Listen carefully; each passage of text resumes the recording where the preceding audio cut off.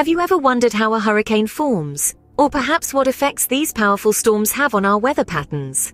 Well, you're about to uncover the answers to these questions.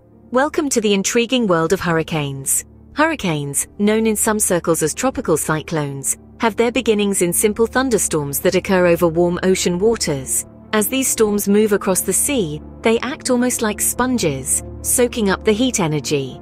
This causes the air to rise rapidly, forming a low pressure system in their wake. Now, the plot thickens as the low pressure system grows stronger.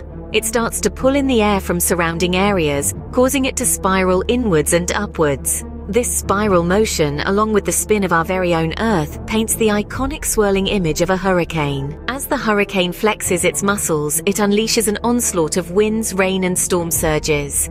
The destructive power of these elements can be immense, causing chaos in coastal communities. Flooding, damage to buildings, and disruption to everyday life are often the unfortunate outcomes. But hurricanes don't stop at their immediate impact.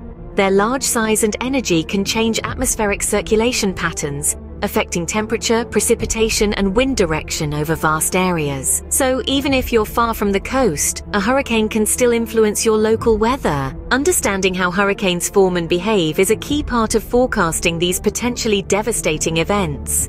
Knowledge is power, and by staying informed, we can take steps to protect ourselves and our communities, reducing the impact of hurricanes and ensuring our safety when nature's fury strikes. So there you have it the formation of a hurricane, from a cluster of thunderstorms to a swirling behemoth, and the profound effects they have on our weather patterns.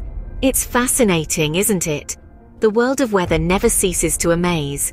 That's all from RVA Weather Network for now. Stay tuned for more weather stories that will keep you on your toes.